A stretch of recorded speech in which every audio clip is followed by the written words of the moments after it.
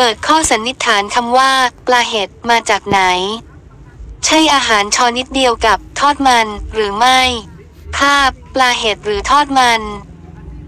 เมนูธรรมดาที่รสชาติและความนิยมไม่ธรรมดาอย่าง ทอดมันมักกลายเป็นประเด็นสนทนาอยู่บ่อยครั้งว่า เกี่ยวข้องกันเหมือนกันหรือต่างกันอย่างไรกับเมนู ปลาเห็ด เพราะทั้งหน้าตารสชาติและวิธีการทำนั้นแทบจะเหมือนกันทุกระเบียดนิ้วจนคนจำนวนไม่น้อยพูดเป็นเสียงเดียวกันว่า มันคือเมนูเดียวกันต่างกันเพียงชื่อเรียกเท่านั้น พจนานุกรมฉบับราชบัณฑิตยสถานพศ2554 ให้ความหมายของทอดมัน ว่า นอ ของกินชอนิดหนึ่งเอาปลาหรือกุ้งกับน้ำพริกแกงโขลกให้เข้ากันจนเหนียวแล้วทอดในน้ำมัน และให้ความหมาย ปลาเห็ด ว่า นอ ทอดมันปลา หรืออีกในหนึ่งคือปลาเห็ดก็คือทอดมันปลา นั่นเองกระนั้นคำอธิบายนี้ไม่ได้ไขความกระจ่างว่าแล้วอะไรคือที่มาของชื่อเมนูทั้งสอง และเหตุใดจึงเรียกไม่เหมือนกัน ประเด็นนี้จึงยังเป็นเรื่องให้พูดคุยในหัวข้อสำหรับอาหารไทยอยู่เสมอ ทั้งมีการหยิบเอาข้อมูลรวมถึงหลักฐานต่างๆ มาสร้างความเป็น ต้นตำรับ ให้ชื่อเรียกและวิธีการทำของฝ่ายตนเอง โดยคุณกริดเหลือละไมได้บอกเล่าและอธิบายที่มาข้อสันนิษฐานและหลักฐานที่เกี่ยวข้องไว้ในงานเขียนเชิงสารคดี ปลาเห็ดปอรอเห็ดและทอดมัน จากหนังสือต้นสายปลายจวักซึ่งน่าจะพอช่วยไขข้อข้องใจเกี่ยวกับเมนูนี้ได้ไม่น้อย ดังนี้ ปลาเห็ดปอรอเห็ดและทอดมันปัญหาโลกแต่ข้อหนึ่งของประวัติศาสตร์วิชาการครัวไทยที่คงอยู่สืบเนื่องมายาวนาน และยังคงมีต่อไปอีกนานก็คือเรื่อง ปลาเห็ดทอดมัน ไม่รู้ว่าเรื่องนี้มันเริ่มตอนไหน เดาว่าก็คงไม่เกินสองศตวรรษก่อนหน้านี้ ที่ผู้คนจากพื้นที่ภาคกลางตอนบน ในวัฒนธรรมปลาเห็ดเดินทางไปมาหาสู่พบปะผู้คนละแวกบางกอกและบางส่วนของอยุธยา ในวัฒนธรรมทอดมัน แล้วเกิดอารมณ์ประมาณไม่เข้าใจ เมื่อพบว่ากับข้าวก้อนกลมๆแบนๆทำจากปลาขูดบ้างสับทั้งก้างบ้างผสมพริกแกงเผ็ดปั้นทอดน้ำมันจนสุกแบบที่ตัวเองรู้จักดีนั้น กลับถูกเรียกชื่อเป็นอีกแบบหนึ่งที่ไม่คุ้นหูเลยสักนิดเดียว ภาพ ทอดมันปลากรายเท่าที่สังเกตคำเรียกสำหรับอาหารนี้ว่า ปลาเห็ดพบตลอดตามชุมชนริมแม่น้ำทุกสายในภาคกลาง โดยเฉพาะช่วงตอนบนอย่างพิษณุโลกสุโขทัยจะหนาแน่นชัดเจน มีผู้อธิบายประวัติคำนี้ไว้นานแล้ว นั่นก็คืออาจารย์บรรจบพันธุเมธาท่านบอกไว้ในหนังสืออันเนื่องด้วยชื่อชื่อเขมร พศ 2521 ว่าปลาเห็ดนั้นเป็นการ แปลงคำเขมรเป็นคำเรียกอย่างไทย แปลงโดยให้คำพยางต้นหายไปแต่มีพยางมาแทนบางคำพยางที่มาแทนเป็นคำไทยที่บอกลักษณะสิ่งนั้นๆ โดยคำเขมรเรียกปอรอหิตอ ออกเสียงว่าปอรอเฮด ที่คำไทยเลือกใช้ปลามาแทนปอรอก็ คงเป็นเพราะต้องการให้มีความหมายแปลได้ และทอดมันก็ทำด้วยปลาเข้าความหมายได้พอดีปอรอหิตอในพจนานุกรมพุทธศาสนาบัณฑิตเขมรเขมรระบุว่าเป็น เครื่องผสมหลายอย่างเป็นเครื่องช่วยให้อาหารมีรสอร่อยทำด้วยปลาหรือเนื้อสับให้ละเอียดแล้วคลุกให้เข้ากันด้วยเครื่องผสมหลายอย่าง เช่นแป้งข้าวเจ้าแล้วปั้นเป็นก้อนเล็กๆ แล้วทอดในน้ำมันหรือเอาไปแกง อาจารย์ประพัฒชูวิเชียนภาควิชาประวัติศาสตร์ศิลปะคณะโบราณคดี มหาวิทยาลัยศิลปากรก็เคยเขียนไว้นานแล้วว่าคำว่าปลาเห็ดควรเพี้ยนมาจากคำเขมรว่าปอรอหิตอ เขียนว่าปอรอหิตอ หมายถึงลูกชิ้นหรืออาหารที่เอาเนื้อสับปั้นเป็นก้อนเล็กๆ แล้วทำให้สุกผู้ที่อยู่ในวัฒนธรรมปลาเห็ดบางคนสามารถระบุชัดลงไปได้อีกถึงระดับความแตกต่างของเนื้อวัตถุดิบ คือบอกว่าถ้าเป็นปลาเห็ดจะต้องปลาน้ำจืดปลาเล็กปลาน้อยสับทั้งก้างหากใช้เนื้อปลากรายปลายี่สกหรือปลาสลัดขูดจึงเรียกทอดมัน แต่บางคนก็ว่าทั้งสองแบบนั้นเรียกปลาเห็ดเหมือนกันนั่นแหละ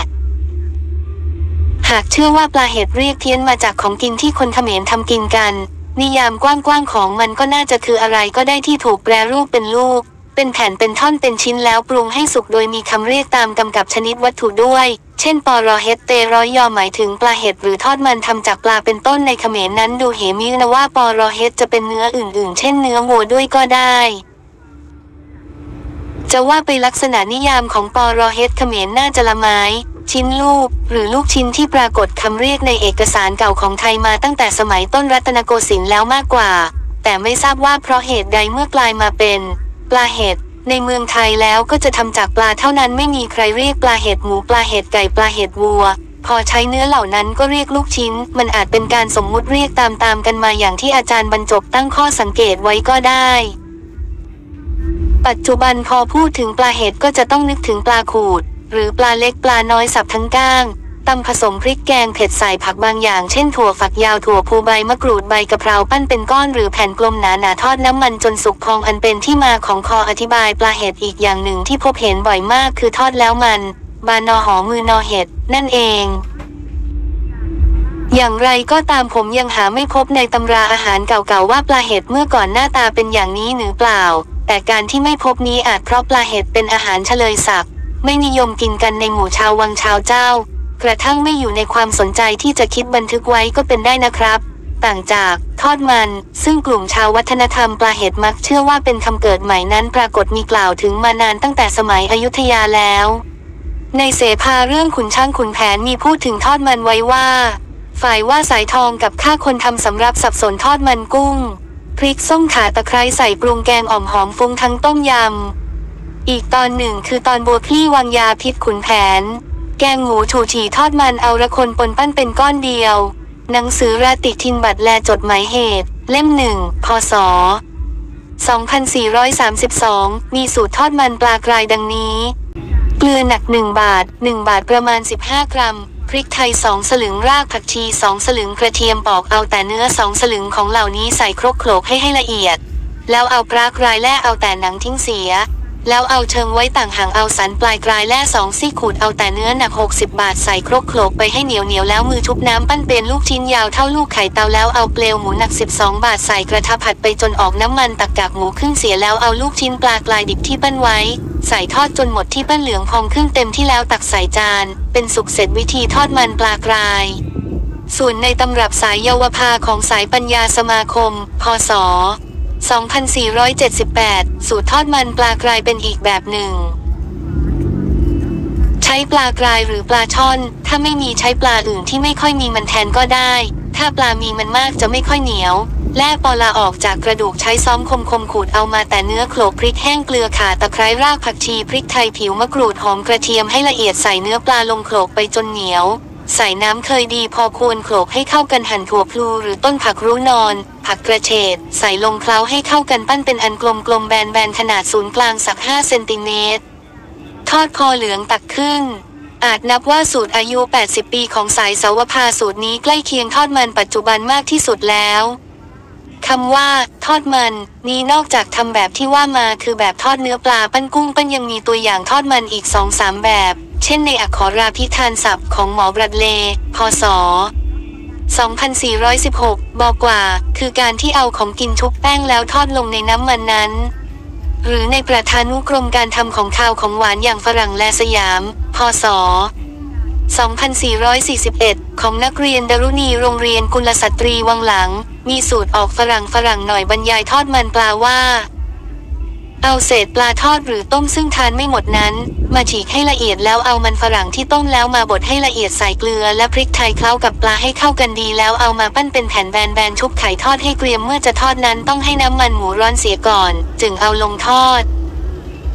และทอดมันหมูมีว่า เอาเนื้อหมูที่มีมันกับเนื้อปนกัน หนักสามช่างเอาเนื้อที่ไม่มีมันช่างครึ่งมาล้างสะอาดดีและสับให้ละเอียด จึงเอาดอกจันบดละเอียดแล้วหนึ่งดอก การพลูบดแล้วสองช้อนชาพริกไทยบดแล้วหกช้อนชาสับไปด้วยกันจนดีแล้วปั้นเป็นแผ่นทอดในกระทะ 30 นาทีก็สุกเกรียมดี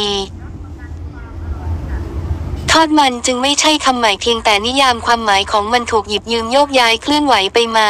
จนกระทั่งแข็งตัวหยุดอยู่ที่การเอาเนื้อปลากราย หรือปลาดาบลาวปลาทูปลายี่สกปลาสลัดมาขูดตำนวดกับน้ำเกลือจนเหนียวคลุกเคล้าผสมพริกแกงถั่วฝักยาวหรือถั่วพูซอยใบมะกรูดหั่นละเอียดบางสูตรผสมไข่ไก่ด้วยจากนั้นปั้นแผ่เป็นแผ่นกลมหนาทอดน้ำมันจนสุกกินกับน้ำจิ้มอาจาดสามรสโรยถั่วลิสงคู่บดแหนมแตงกวาหั่นบางพื้นที่เช่นเมืองเพชรบุรีนิยมกินกับขนมจีนด้วยซ้ำไป